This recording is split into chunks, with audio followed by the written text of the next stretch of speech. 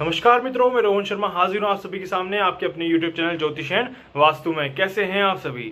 दोस्तों पिछले अध्याय में हमने बात करी थी कि निर्जला एकादशी कब है और क्या फल मिलता है इसके आ, करने से और कैसे इसको करना चाहिए क्या मुहूर्त है दोस्तों, आज हम निर्जला एकादशी के कुछ विशेष उपायों और पूजा के बारे में बात करेंगे कि इसकी पूजा करने से किस प्रकार से पूजा करनी चाहिए और पूजा करने से क्या क्या लाभ मिलते हैं क्या क्या आपको फ़ायदे हो सकते हैं। जी हाँ दोस्तों, बहुत ही महत्वपूर्ण दिन है और मैं चाहता हूँ आप इस वीडियो को पूरा देखें ताकि आप सारे लाभ उठा पाएँ और सारे फ़ायदे आपको मिल जाएँ।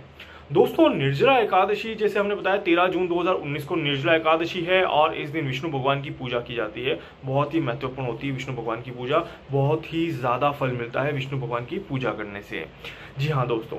तो दोस्तों, विष्णु भगवान की पूजा किस प्रकार की जाती है? तो दोस्तों, विष्णु भगवान की पूजा करने के लिए आपको पीले पुष्प का लाने पड़ते हैं। पीले पुष्प भगवान को चढ़ाइए आप, पीले कपड़े धारण करिए आप पूजा करते समय और ब्राह्मणों को भोज कराइए और ब्राह्मणों को भोज कराने के बाद उन्हें दक्षिणा तथा पीले वस्त्र दान करिए। तो इससे आपको काफ़ी फ़ायदा मिलता है। दोस्तों, निर्जला एकादशी पर तुलसी का भी बहुत ज़्यादा महत्व है।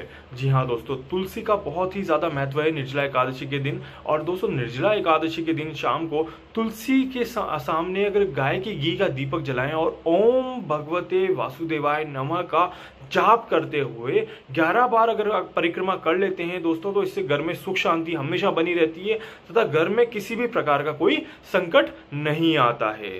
निर्जला एकादशी पर, दोस्तों, भगवान विष्णु के मंदिर में एक नारियल और थोड़े से बादाम चढ़ाएँ। इस उपाय को करने से जीवन में आर्थिक समस्या कभी नहीं होती है, तथा आपके अगर काम में कोई भी बाधा आ रही है तो वो ज़रूर समाप्त हो जाएगी। तो निर्जला एकादशी के दिन भगवान विष्णु को नारियल और बादाम चढ़ाने से आपको आर्थिक समस्याएँ खत्म हो जाएगी।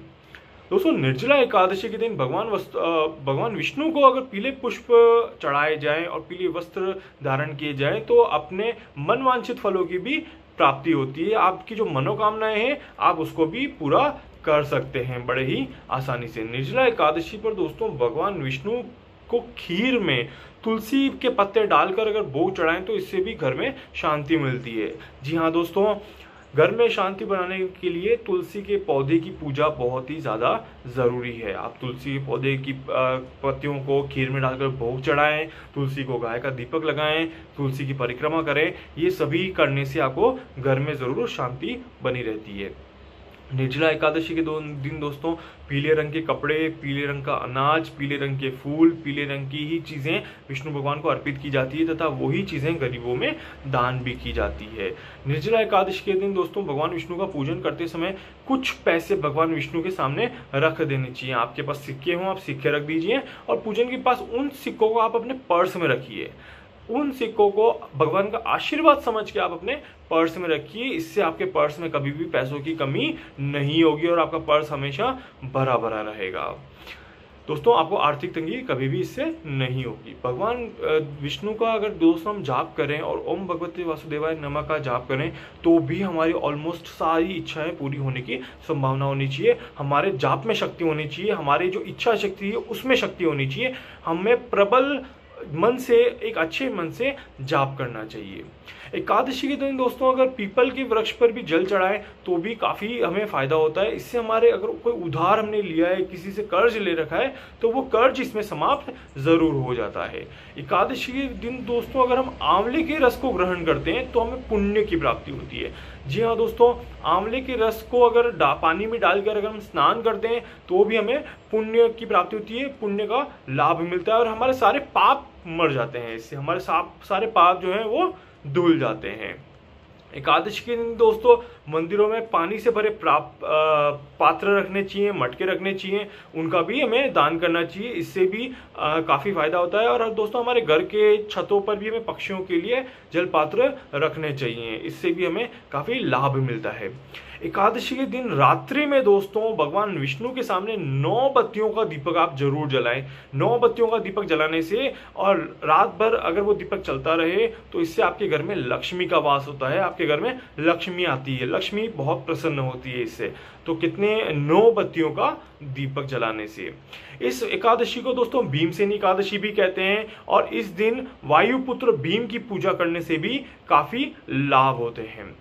दोस्तों, एकादशी के दिन सुबह सुबह भगवान विष्णु की पूजा करने से पहले और पूजा करने के बाद, पूजा करने से पहले आप भगवान विष्णु को दूध और केसर का भोग लगाएँ तथा पूजा करने के बाद आप अपने को भी केसर का तिलक लगाएँ तो उससे भी आपको काफ़ी फ़ायदा होगा।